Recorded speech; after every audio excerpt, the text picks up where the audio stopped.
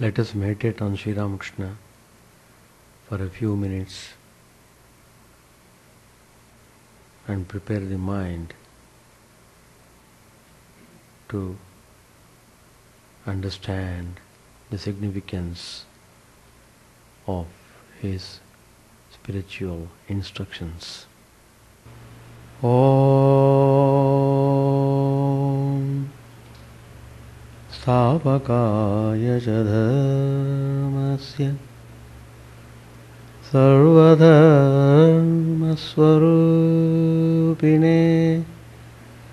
स्थापकाय च धर्मस्य सर्वधर्मस्वरूपिणे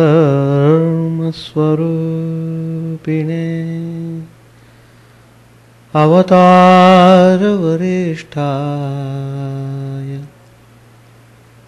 रामकृष्णाय ते नमः।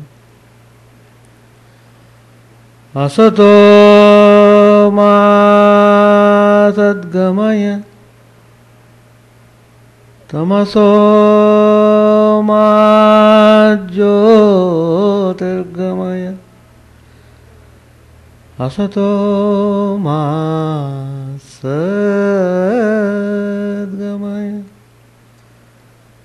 तमसो मा ज्योतिर्गमय मृत्योर्मामृतङ्गमय।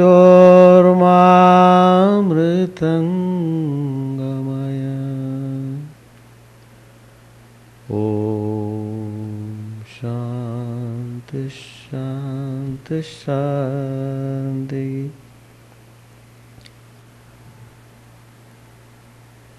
Let us bow down to Sri Ramakrishna, the embodiment of all religions, the Supreme God incarnate.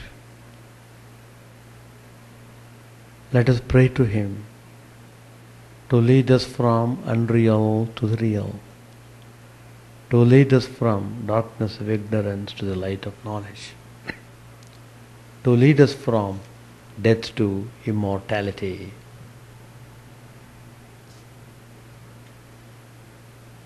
We are now studying chapter 26.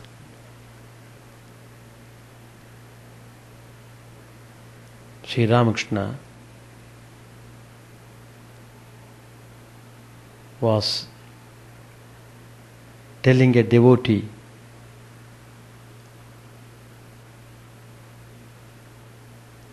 how the mind of a worldly person is. He clearly distinguishes between the worldly mind and spiritual mind. If your spiritual life were to be successful, it follows you must have spiritual mind. Sri Ramakrishna tells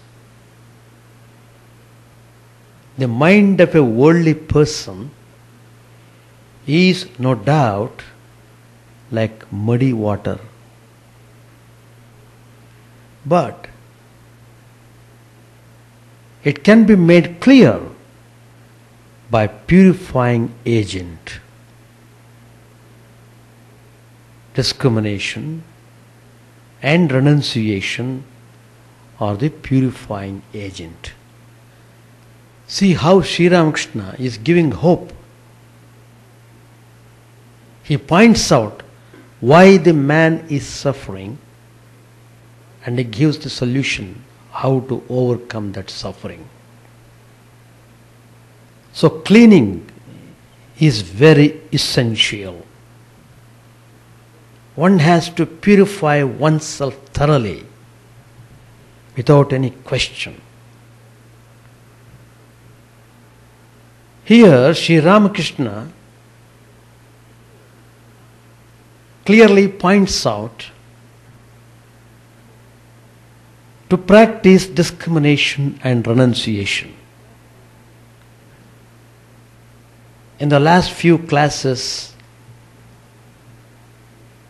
I was talking about reasoning leads you nowhere. Faith is most important thing in the spiritual life.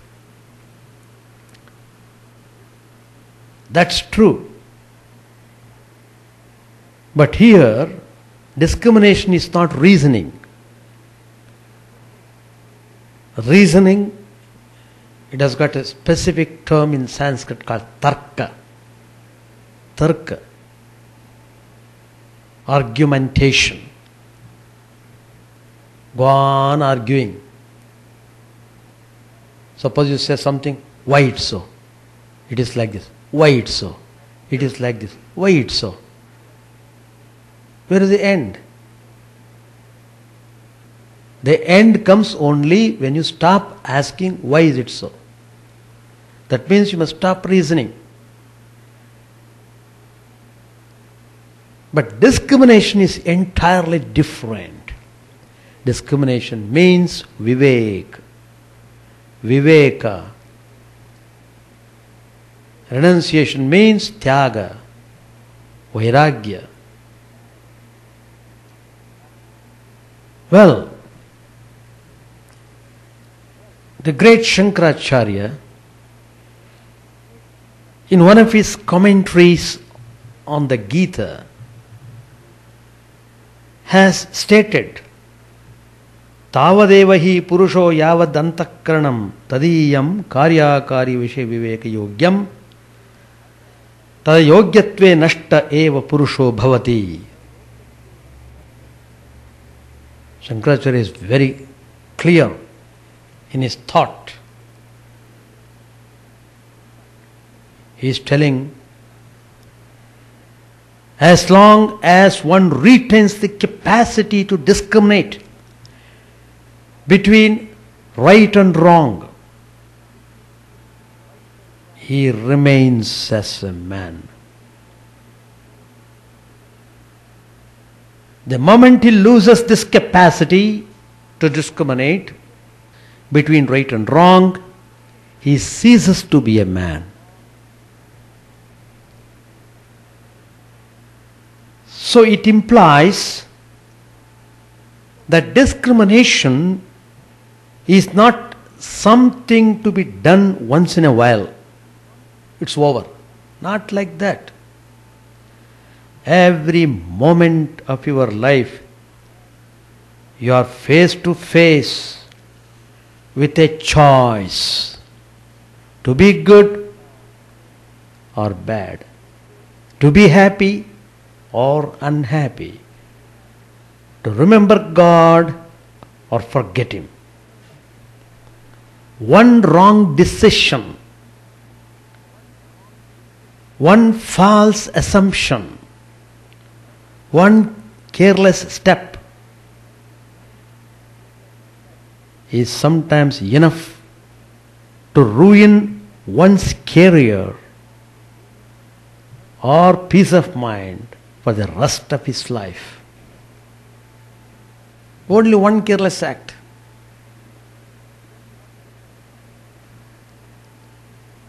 There are so many episodes how by careless acts people get into trouble.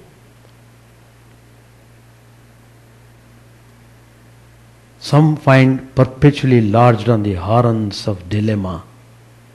They can't decide what is right, what is wrong. Even if somebody tells, they have no guts to hold on to that idea. Then what is the fate of such people? It is utterly miserable. So, what Sri Ramakrishna says that in spiritual life, discrimination is very essential.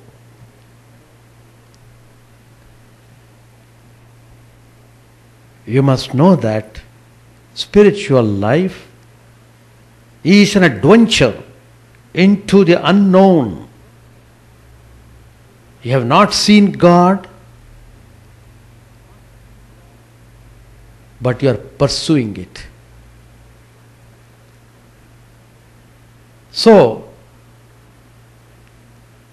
in order to go in spiritual path, you need the lamp of discrimination to find your way towards your spiritual illumination.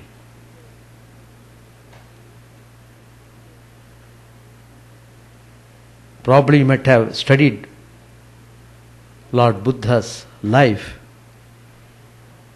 His last advice to his disciples was Atmadipo Bhava. Be a lamp unto yourself. That was the message of Lord Buddha to his disciple. The last message. Once, a young man who was inclined to the practice of Jnana Yoga joined the Ramakrishna mission.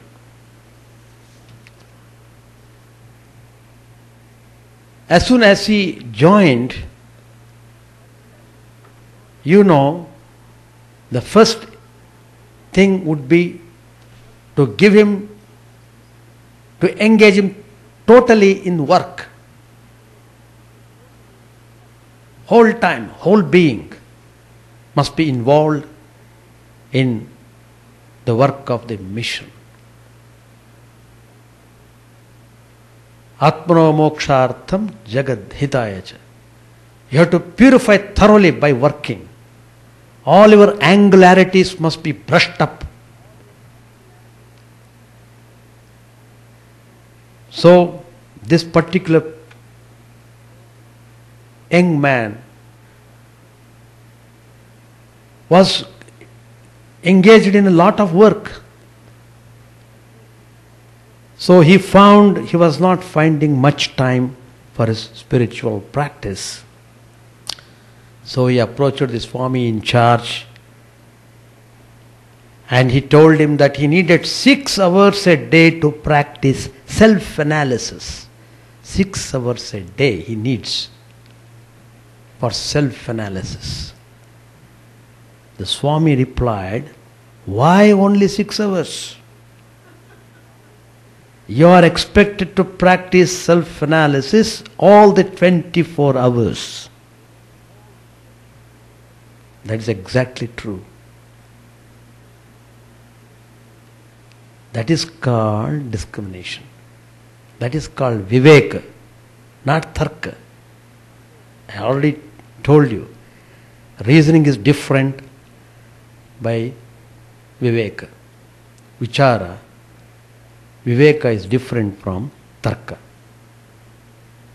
It means that a spiritual aspirant who really takes up this life in order to achieve the spiritual goal, he has to be alert and discriminating. It's not doubt difficult. It is like keeping a lamp burning in a windy place.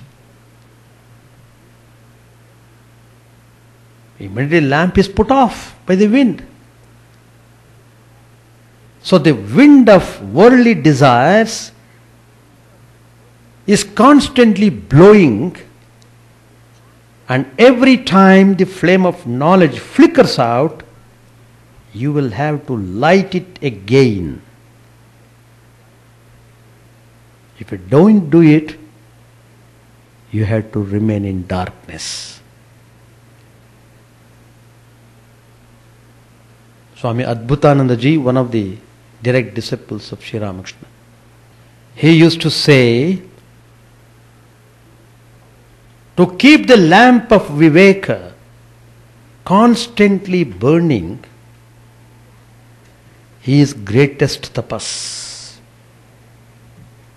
It is the greatest austerity.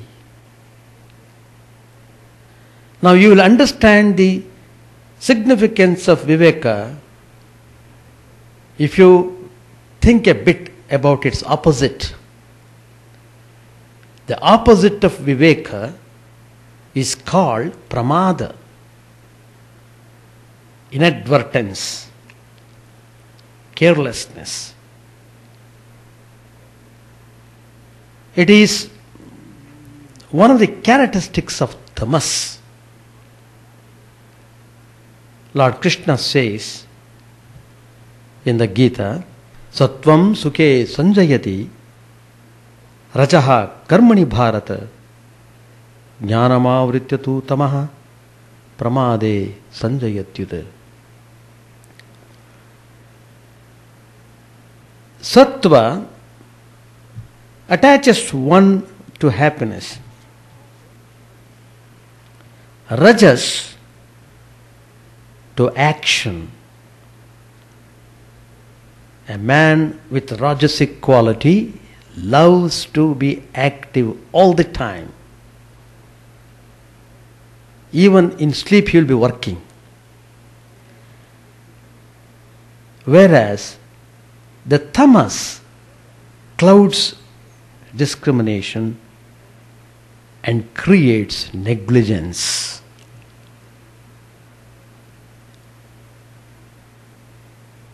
Shankaracharya again says in his Viveka Chudamani, the crust jewel of discrimination. If you have not read, please read that book. We are all students of Vedanta. It's a very important spiritual textbook, Viveka Chudamani by Shankaracharya.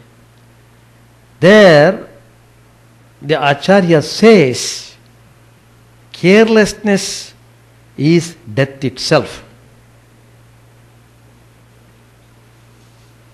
Lakshyachyutam chedyad chittamishad bahirmukham sannipate tatastataha pramadataha prachyuta keli kandukaha sopanapangtau padito yathatatha I am just, I know you don't understand Sanskrit, but still I am chanting just to, at least you can enjoy the beauty of the words. Just the idea.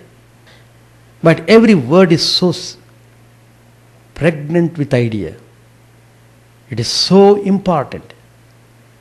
It is so beautiful to think about. Here, the meaning of this verse, which I just now chanted, is if the mind strays from the ideal, even a little, and becomes outgoing, then it goes down and down, just as a play ball carelessly dropped on the staircase comes down bouncing from one step to another. The mind that is attached to the things of the world reflects on their qualities. Deep reflections give rise to desire. And after desiring, one sets about having that thing. That means through inadvertence, one deviates from his real nature. Once he deviated from the spiritual ideal, thereafter he falls.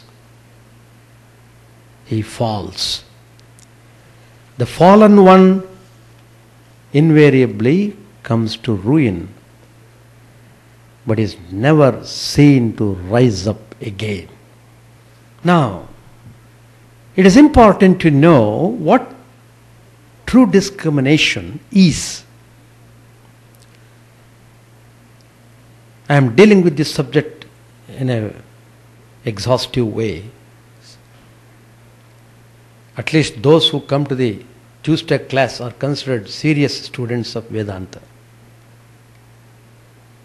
they have taken spiritual life seriously and they are practicing sincerely, honestly. So it's very important that some of these important characteristics of spiritual life are to be known. Every kind of reasoning or cogitation is not discrimination. Doubting, vacillation, and shilly shallying often bear the semblance of discrimination, but they are not discrimination. True discrimination is a process by which the mind makes correct value judgments and arrives at right conclusions. There are three points which distinguish Vivek from ordinary thinking and reasoning.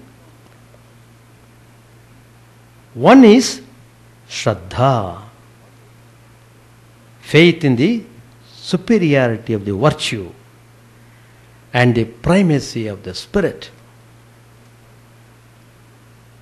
Discrimination is always a movement from a lower value to a higher value, from vice to virtue, from matter to spirit. And this movement is possible only if the aspirant has an unshakable Shraddha, faith in the higher value. We have talked enough of Shraddha in previous classes. One who has no faith in virtue cannot practice discrimination between virtue and vice. For him, vice appears to be the only logical course of action. Secondly, discrimination is possible only when both the objects of discrimination are known. Discrimination is not airy speculation. It's a movement between two known poles of experience. In order to know that what you saw in the dark was not a snake but a rope, you must see the rope. Here comes the importance of the scripture and the teacher. Discrimination must always be based on true knowledge gained either from direct experience or from these two sources, scriptures and the teacher. Thirdly, discrimination is not just a movement of thought. It is a process of determining the right choice, fixing the right end and means. This determination is a function of buddhi, intellect. According to Hindu psychology, buddhi is both the faculty of intuition and the faculty of will. Discrimination always involves the operation of both these faculties. In ordinary thinking, buddhi rarely comes into operation. It comes forward only when the soul is at a crossroads and a vital decision has to be made.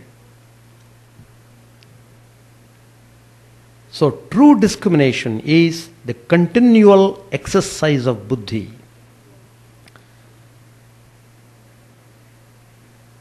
The Bhagavad Gita classifies buddhi, the discriminating faculty, into three categories sattvic, rajasic, and tamasic.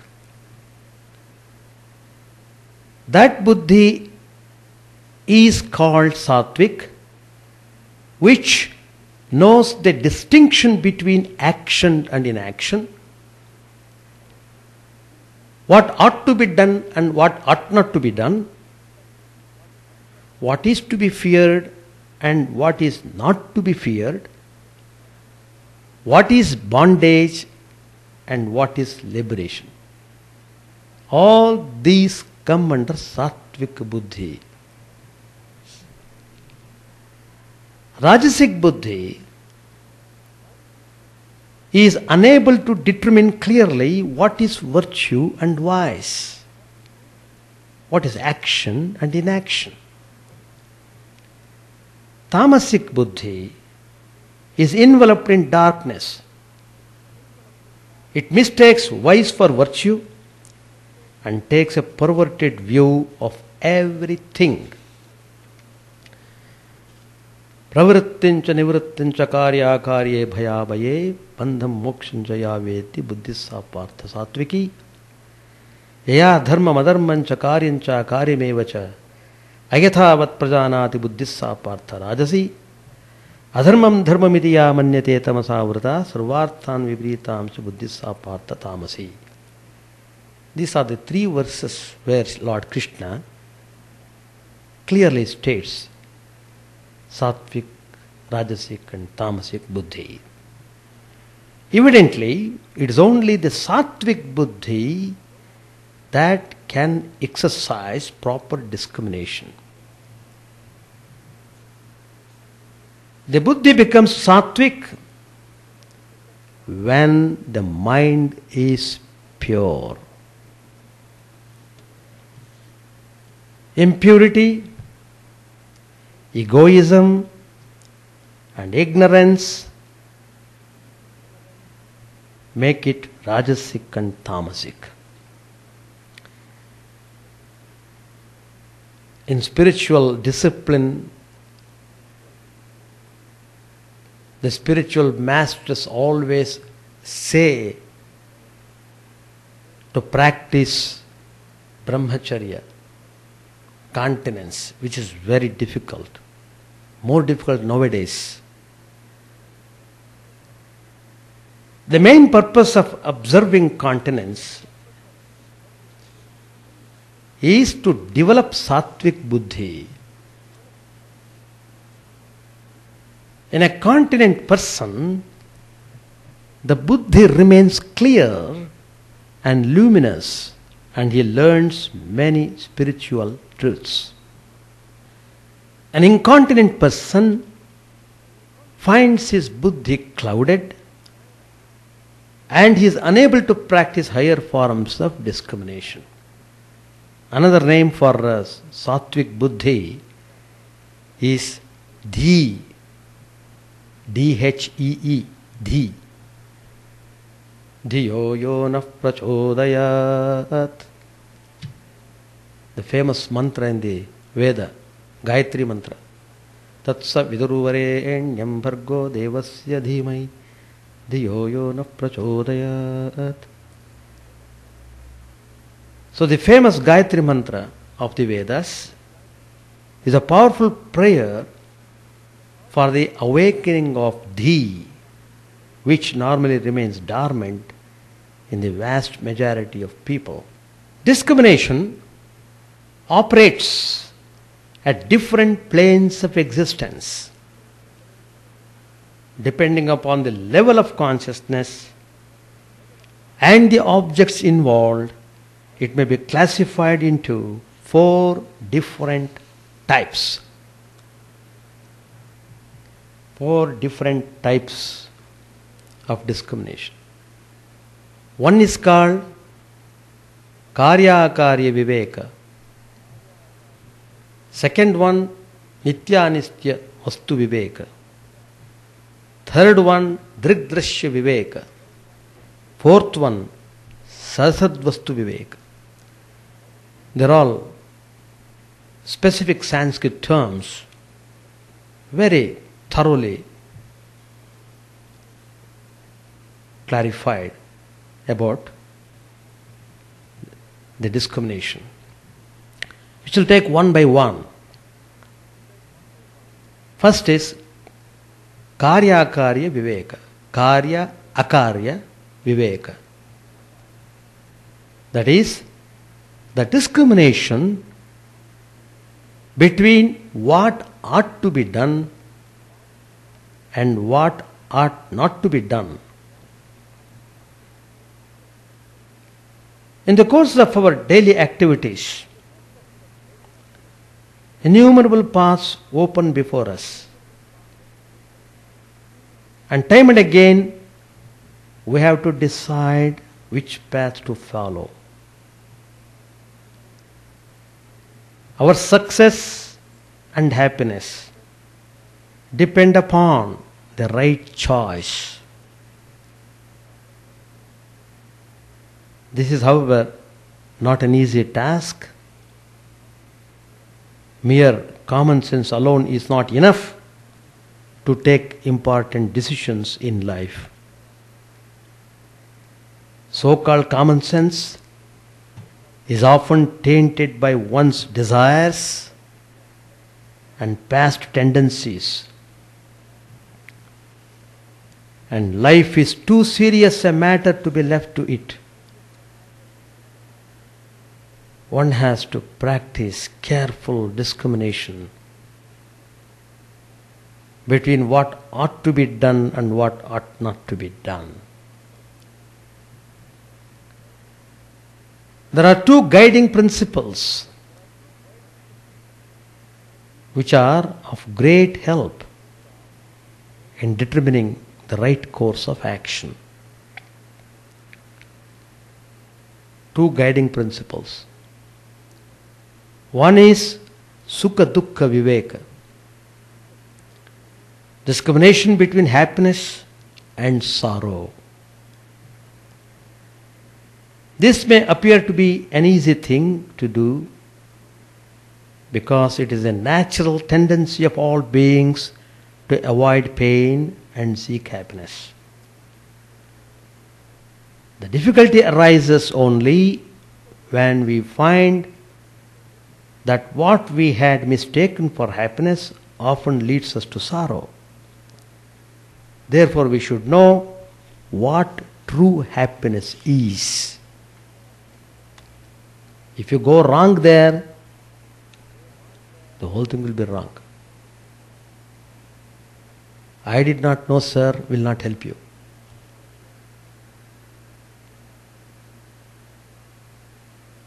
In Kathopanishad, it's a very famous Upanishad, Swami Vivekananda said many times, read Kathopanishad. There is a story of Nachiketas, a young brahmacharin full of tejas. It's a big story. Anyway, he came in contact with uh, god of death,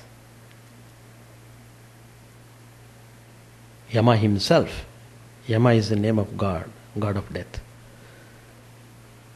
So, but the god of death wanted to test him initially. He wanted to see whether the boy has right type of discrimination.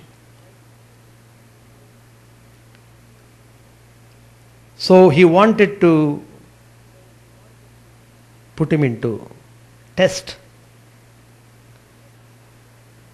So he tempted him with various celestial pleasures. Oh boy, you are just young man. You look very well.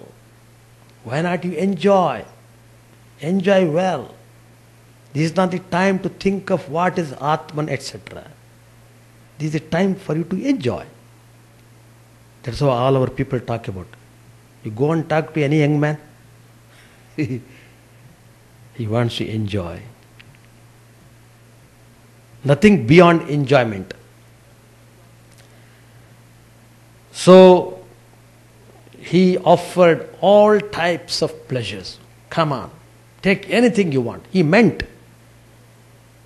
He's not simply telling. He can do, he can give whatever he wants. Right now I give you. Not only that, you can live as many years as you want to enjoy the things. That also I will grant you. Not simply 100 years. Oh, it may be too short for you to enjoy the life. All right? Enjoy immensely. I will give you a lot of span of life. Thousand years? But the boy was very shrewd. And he was very careful. As I said, how he became so careful, how his buddhi was so sharp, because of his continued practice of continence. Well versed in the scriptures. So his mind was well set. He doesn't want to lower the mind even a bit. So straight away he rejected them all. No, I don't want all these things. Keep away. Keep all these things with you, sir. Tavaiva vahastavan nritya gite. Keep all these damsels, these uh, celestial joy, pleasures, so on. Keep everything to yourself. I don't want any of these things. That means he was well established in discrimination and he was well established in renunciation. He doesn't want anything, he wanted only the knowledge of the self, he wanted only truth. Anyway, the details are in the Upanishad. If you want to study details, you can study that book. So the boy rejected them all on the ground that they were transitory, they wear out the power of the senses. The more you enjoy, the more your senses become weak, exhausted, and you lose all the power you have. Commenting on this episode, the Upanishad says, Shreyas and Preyas. In fact, the same two words I was talking today morning with one of our friends. Shreyas and Preyas. Shreyas means good. Preyas means pleasant. They both come to you nicely. They present before, they stand before you. Good and pleasant. What do you want? Do you want good or do you want pleasant? The wise one examines both, distinguishes the one from the other, and chooses the good. If you choose the good, the end result will be good. If you choose the pleasant, the end result will be miserable. So, those who are not wise enough, they are driven by fleshy desires. They prefer the pleasant to the good. They think Shreyas is the only way. We have come to this world to enjoy. What is they are talking about? We, don't, we should not enjoy at all.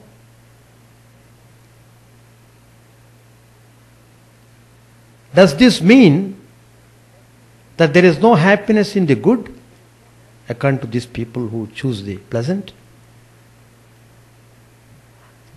The truth is that happiness is of different types, of which the lowest is Vishaya Sukha or sense pleasure. The sense pleasure, it is classified under Rajasika Sukha. In Gita, again, this classification is explained. It also mentions a still lower type of happiness, tamasic sukh, which arises from sleep, indolence. You get some kind of happiness by sleeping too. It is classified as tamasic. Higher than this is shama sukham. Shama. Shama means self control. Shama Sukham means the joy of self control. If you are controlling yourself, in the very process of your controlling, you feel immensely joyful.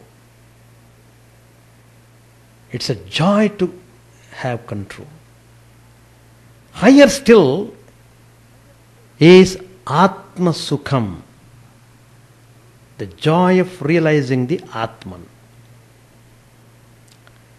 According to the Gita, these two types of happiness, Shamasukam, Atmasukam, are sattvic. But there is still higher than these two. The highest form of happiness is the infinite and everlasting bliss of Brahman, known as Brahmananda. Brahmananda. That is the highest form of happiness.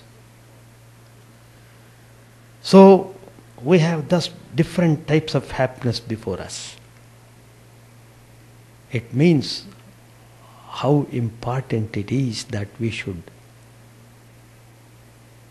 be thorough, discriminative. That's why Sri Ramakrishna says discrimination and renunciation are very essential in your spiritual journey. So I conclude my talk. There are a lot of things to know about discrimination, which I would continue in my next class. Page 506. Master said, The important thing is somehow to cultivate devotion to God and love for Him. What's the use of knowing many things? It's enough to cultivate love of God by following any of the paths. What when you have this love, you are sure to attain God. Afterwards, if it is necessary, God will explain everything to you and tell you about the other paths as well. It is enough for you to develop love of God. You have no need of many opinions and discussions. You have come to the orchard to eat mangoes, enjoy them to your heart's content. You don't need to count the branches and leaves on the trees. It is wise to follow the attitude of Hanuman. I don't know the day of the week, the phase of the moon, or the position of the stars. I only contemplate Rama. Master Maharshi said, I now desire that my activities may be much reduced and that I may devote myself greatly to God. Presently, Ram Chatterjee entered the room. The master said some kind words about him to other. Master said, Ram's presence in the temple garden has relieved us of many anxieties. He searches out Harish, Latu, and the others at meal time. Very often they are absorbed in meditation in some corner of the temple garden. It is Ram who sees that they eat at the proper time. Yeah. Any questions to ask? You are welcome.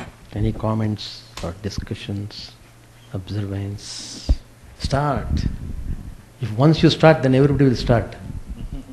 starting trouble. so be prepared to practice discrimination because you're all aspiring for results, you know. People want results. True. But you will get result provided you follow the instructions clearly. The instructions given by Sri Ramakrishna himself. Discrimination, renunciation.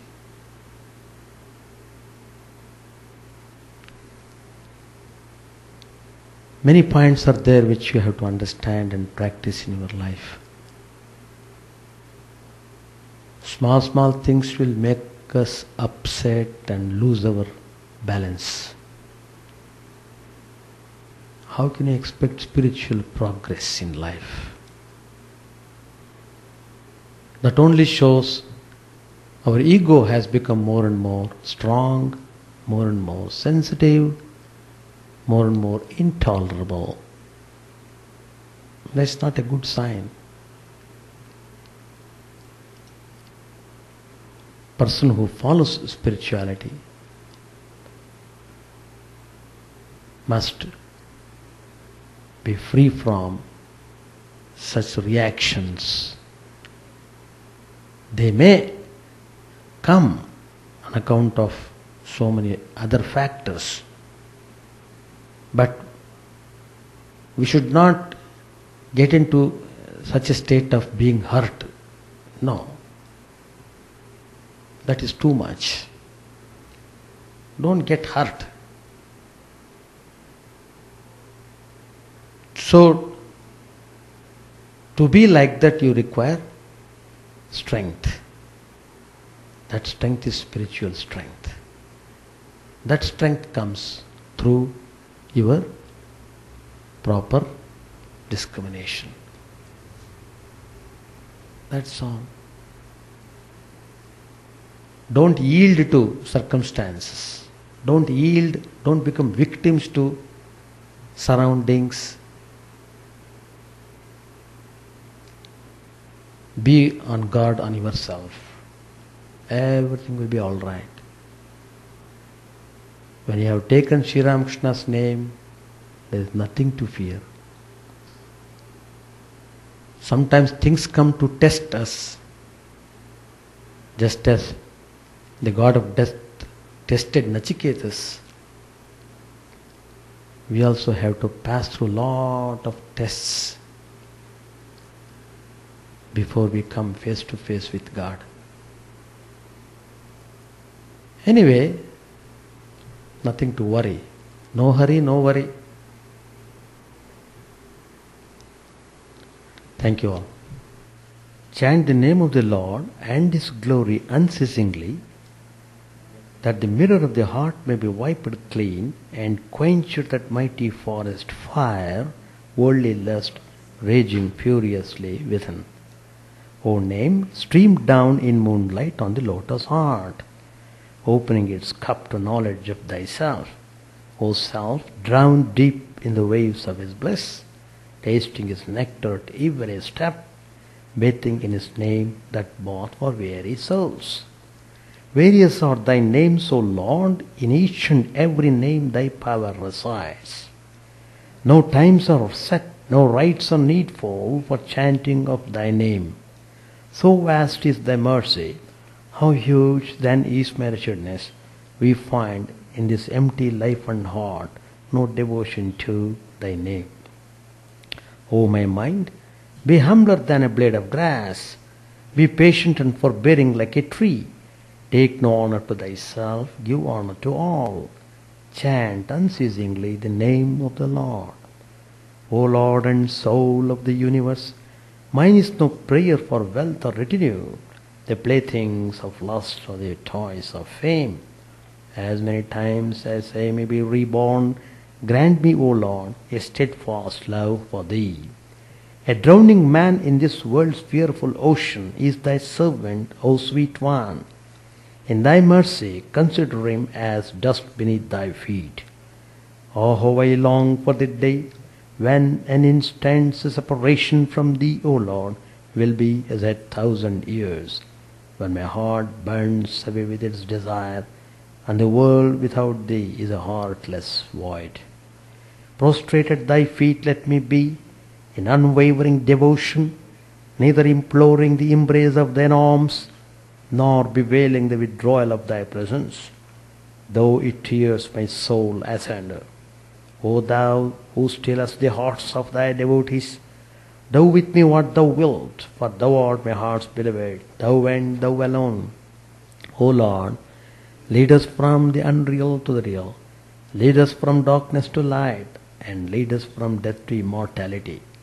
May all be free from dangers, may all realize what is good, may all be actuated by noble thoughts, may all rejoice everywhere, may all be happy, may all be free from disease, may all realize what is good, may none be subject to misery.